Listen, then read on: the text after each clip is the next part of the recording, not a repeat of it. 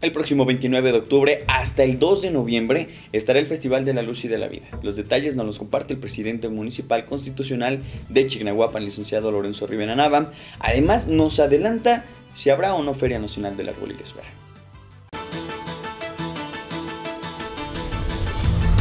Eh, anunciamos el 25 aniversario del Festival de la Luz y de la Vida, que será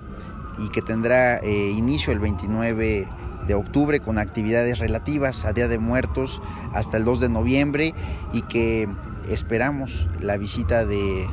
muchos visitantes. Y para ello también necesitamos coordinarnos con los prestadores de servicio, con los comerciantes, con el personal también que integra la administración pública municipal para que podamos pues tener eh, coordinación en temas de protección civil, de seguridad, de vialidad y por supuesto de seguridad pues voy a instruir, qué bueno que me dices, que puedan checarlo aquí a la dirección de turismo y al tema de la, aplicación, si es que hubiera algún, algún detalle. Eh, en la tarde me dieron reporte de que hay, hubo una gran afluencia, que muchos boletos ya se vendieron, que eso es algo muy bueno, pero bueno, eh, estaré checando este comentario y te, y te informaré en breve. Estaremos haciendo eh, el anuncio eh, en los próximos días, pero sí, les adelanto que la idea es tener eh, la Feria Nacional del Árbol de la Esfera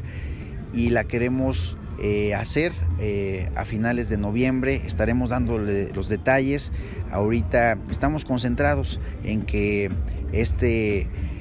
programa relativo a Día de Muertos y que tiene como centro el Festival de la Luz y de la Vida, que tendrá tres fechas, pues pueda ser una gran experiencia, que pueda detonar la economía, que pueda también pues resaltar lo que es importante para nuestro municipio, que es pues